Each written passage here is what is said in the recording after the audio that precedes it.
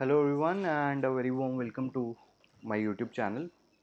Guys previous year questions का part four है and detail के अंदर एक्सप्लेनेशन को डिस्कस करेंगे प्रीवियस ईयर क्वेश्चंस मैंने आपको पहले भी बताया, ये एक ऐसा सोर्स है अल्टीमेटली कि अगर ये किसी ने अच्छे से कर लिया ना, पिछले पाँच दस साल के पेपर देख लिए वेरियस एग्ज़ाम्स के जो आपकी फ़ील्ड से रिलेटेड हैं तो अल्टीमेटली आप देखोगे कि आप बड़े आराम से पेपर के अंदर अगर मैं नबार्ड की बात करूँ कि भाई चालीस क्वेश्चन आने हैं एग्रीकल्चर के, ठीक है? तो चालीस में से आप देखोगे कि आपके आराम से दस क्वेश्चन सॉल्व हो जाएँगे अगर आपने प्रीवियस ईयर क्वेश्चन किए हुए होंगे।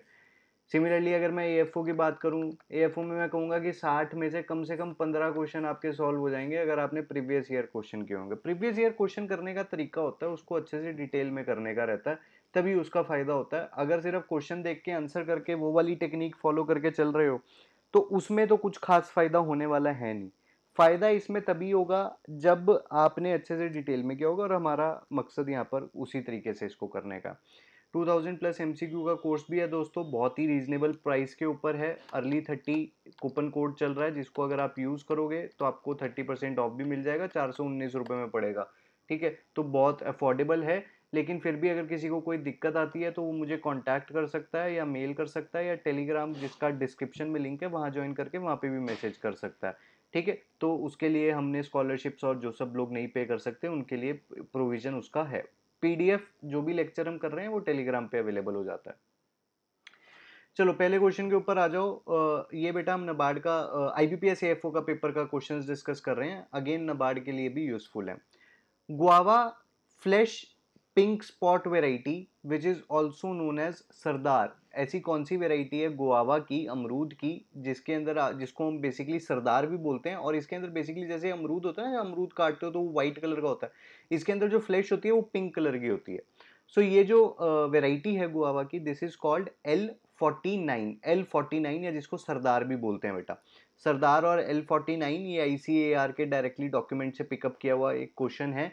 पूरे इंडिया के अंदर इसको ग्रोथ के लिए रिकमेंडेड है ये। इस तरह का दिखता है बेटा ये काटने पर, अमरूद पिंक कलर का अंदर से ओके एंड ज़्यादातर इस वेराइटी के जो फ्रूट्स हैं वो लार्ज होते हैं राउंडिश होते हैं ओवल शेप में ओके और जैसे आपको देख, देखने को मिल रहा है ना रोज़ कलर का ये आपको देखने को मिलता है। एंड विटामिन सी के अंदर काफ़ी रिच होता है और प्लांट की जो ग्रोथ है वो भी काफ़ी फास्ट होती है, काफ़ी विग्रस होती है। तो ये पॉइंट्स भी आपको याद रखने हैं, जैसे वो ये इस तरह से क्वेश्चन पूछ ले कि यार जो सरदार वेराइटी है गुआवा की, ठीक है, या एल फोर्टी नाइन जो वेराइटी है गुआवा की, वो किस पर्टिकुलर कंटेंट में रिच होता है, ठीक है? तो टी एस एस और विटामिन सी कंसेंट कंटेंट के अंदर ये रिच रहता है। नेक्स्ट क्वेश्चन बेटा नेक्स्ट क्वेश्चन का आंसर ऑलरेडी मार्क्ड है, चलो कोई बात नहीं। Plant growth mechanism towards the sunlight और other direction towards light is known as ठीक है? सनलाइट और अदर डायरेक्शंस सनलाइट और अदर डायरेक्शंस तो सिर्फ़ और सिर्फ़ सनलाइट की बात नहीं है। अगर कोई आर्टिफिशियल सोर्स ऑफ़ लाइट भी है तो उसकी तरफ़ भी प्लांट ग्रो करेगा ओके उस डायरेक्शन में जहाँ से वो बेसिकली लाइट का सोर्स है, उस डायरेक्शन की तरफ़ उसको हम बोलते हैं बेटा फोटोट्रोपिज्म ठीक है? तो प्लांट ग्रोथ मैकेनिज्म के ना ऐसे बड़े सारे ट्रोपिज्म आते हैं, उनको हम देखते हैं कि क्या क्या होता है। तो सबसे पहले तो फोटोट्रोपिज्म फोटोट्रोपिज्म फ़ोटो का क्या मतलब हो गया? लाइट और फिर आपका ट्रोपिज्म का मतलब हो गया टर्निंग सो फोटोट्रोपिज्म क्या फिनोमिनन है, जिसके अंदर प्लांट जो है, वो डायरेक्शन ऑफ़ लाइट की तरफ़ बेंड कर जाएगा कि जिस तरफ़ से बेसिकली जो सोर्स है, जैसे अगर ये सोर्स है तो ये डायरेक्शन हो गया सेकंड में देख रहे हो थोड़ा सा टिल्ट हो गया थर्ड में और टिल्ट हो गया फोर्थ में और तो जिस तरफ़ डायरेक्शन होगी ना लाइट के सोर्स की, उस तरफ़ ये घूम जाएगा ओके क्योंकि लाइट एक प्राइमरी सोर्स है ना प्लांट को अपनी एनर्जी मैन्युफैक्चर करने का, अपनी फोटोसिंथेसिस के प्रोसेस को रन करने का। नेक्स्ट हमारे पास एक टर्म आती है जिसको हम बोलते हैं ग्रेविट्रोपिज्म ग्रेविट्रोपिज्म बेसिकली जिसको हम जियोट्रोपिज्म भी कहते हैं, ये बेसिकली क्या होता है? इसके अंदर जो प्लांट की ग्रोथ होती है ना, वो ग्रेविटी के रिस्पॉन्स में होगी, ठीक है? ग्रेविटी एक्ट करेगी।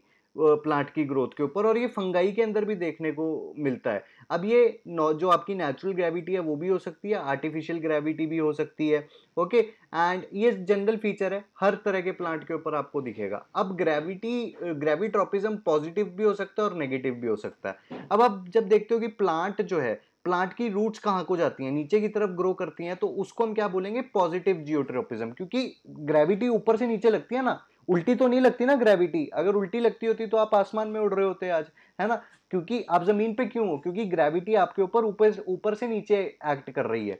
तो रूट्स जो है, ये पॉजिटिव जियोट्रोपिज्म का एग्ज़ाम्पल है, क्योंकि ये ग्रेविटी की डायरेक्शन में ग्रो कर रहे हैं।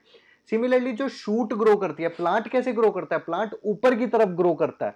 तो वो क्या हो गया? वो नेगेटिव जियोट्रोपिज्म हो गया, क्योंकि वो ग्रेविटी के ऑपोजिशन में ऊपर की तरफ़ जा रहा है। ठीक है? तो ये ग्रेव आपका क्या हो गया? ग्रेविट्रोपिज्म यानी कि ग्रेविटी से जो ग्रोथ का रिलेशन है। फिर आ जाता है बेटा आपका थैग्मोट्रोपिज्म थैग्मोट्रोपिज्म क्या होता है? बेसिकली टच स्टिमुलस यानी कि आप प्लांट को अगर किसी चीज़ से टच करते हो या बाँध देते हो तो अल्टीमेटली प्लांट जो टच की डायरेक्शन है उस डायरेक्शन में ग्रो करेगा। अब फॉर एग्जांपल अगर आप इस तरीके और ये यूज़ किया जाता है प्लांट्स को सपोर्ट प्रोवाइड करने के लिए प्लांट्स की प्रॉपर ग्रोथ के लिए। अब जैसे फॉर एग्ज़ाम्पल यहाँ पर आप देख रहे हो कि स्टेम को जो है आपने टाई कर दिया ओके? okay, तो अल्टीमेटली ये इस स्टिक की डायरेक्शन में आपको देखने को मिल रहा है ना जैसे स्टिक जा रहा है वैसे ही प्लांट ग्रो कर रहा है। सिमिलरली आप लीव्स को भी बाँध सकते हो तो लीव्स देख रहे हो आप, जैसे कि ये स्टिक है स्टिक की डायरेक्शन में आपको लीव्स आते हुए दिख जाएँगी। So this is what thigmotropism chemotropism बहुत सिंपल होता है। अगर आप आर्टिफिशियल केमिकल्स का यूज़ कर रहे हो और उसके रिस्पॉन्स में आपका प्लांट के अंदर ग्रोथ हो रहा है, ठीक है? वो वाले केमिकल्स नहीं जो प्लांट नेचुरली प्रोड्यूस कर रहा है, जो आर्टिफिशियली आप यूज़ कर रहे हो, उसके रिस्पॉन्स में जो ग्रोथ हो रही है, उसको हम क्या बोलते हैं? केमोट्रोपिज्म केमोट्रोपिज्म के बाद बेटा नेक्स्ट आ जाता है आपका इलेक्ट्रोट्रोपिज्म इलेक्ट्रोट्रोपिज्म क्या होता है? इलेक्ट्रिक फ़ील्ड के रिस्पॉन्स में। अब देखो, आप देखते हो ना कि भाई बिजली की तारे डली हुई हैं हर जगह पर, पोल लगे हुए हैं।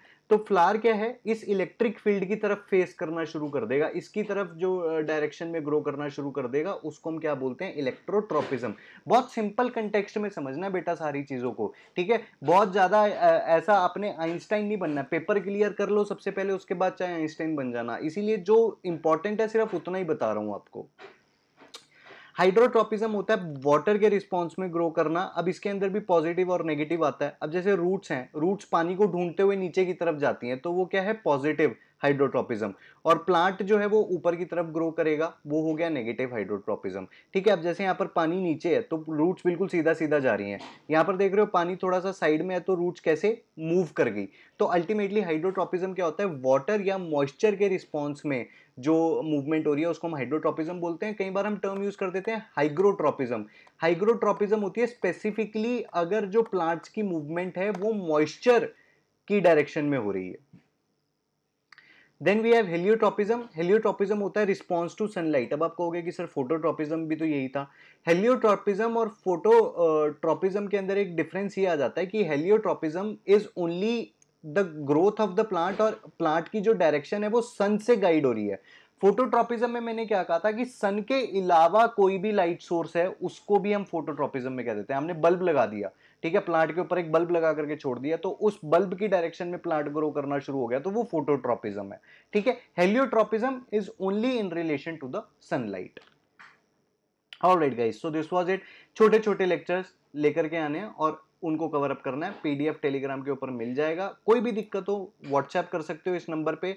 या मेल कर सकते हो, टेलीग्राम के ऊपर भी ज्वाइन कर सकते हो। एंड जो कोर्स है 2000 प्लस एमसीक्यूज का, उसको ज़रूर एक्सप्लोर करो। उसका ना एक छोटा सा फ्री वर्जन भी बना करके मैंने डाला हुआ है सैंपल के तौर पर, ताकि आप उसको एक बार देख लो और उसके बाद डिसाइड करो कि आपको परचेज करना है या नहीं करना है। ठीक है? और चैनल को तो ज़रूर सब्सक्राइब कर लेना। इस तरह के वीडियोज़ आपको मिलते रहेंगे। चलिए, मिलते हैं नेक्स्ट लेक्चर में। Till then all the best and bye